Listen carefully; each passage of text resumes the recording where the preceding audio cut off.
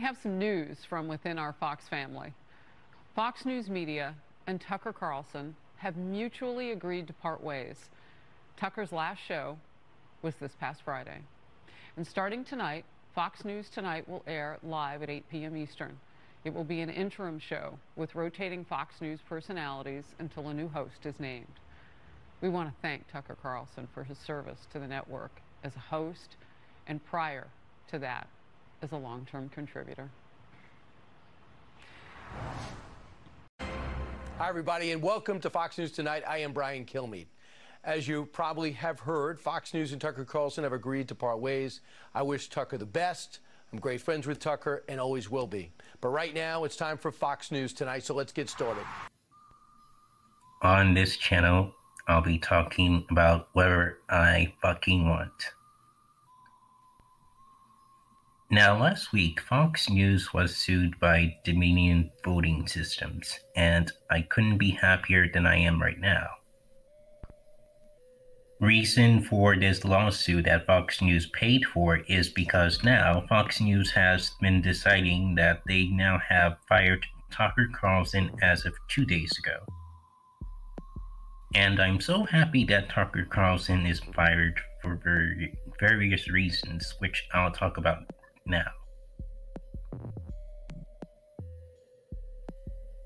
Tucker Carlson has been one of the main commentators of Fox News for six years now, ever since it he had Tucker Carlson Tonight, and it was the longest running broadcast that spread so much lies and disinformation, especially during the 2020 election and throughout after that.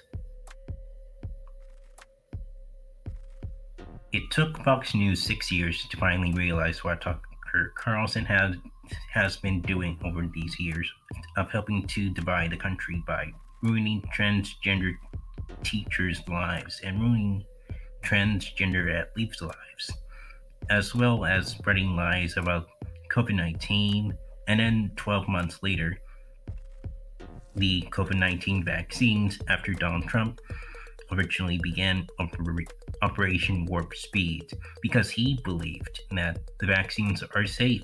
And yet, Tucker Carlson probably went on a stupid, uneducated rant about on his broadcast on how bad vaccines were, without factual evidence to back to back up his dumb claim. I mean, really, how did Fox News not see that after all this time? They really should have fired Tucker Carlson back then for doing this. And maybe there would not have been a lawsuit against Dominion voting systems. But unfortunately, that was too late for Fox News because now that they paid Dominion voting systems for seven seven hundred eighty-seven $1.5 million. It took them a week later to clean their fucking act for once in the last six years of having him on their stupid news channel, and now, thanks to Tucker, Fox News is suffering hard.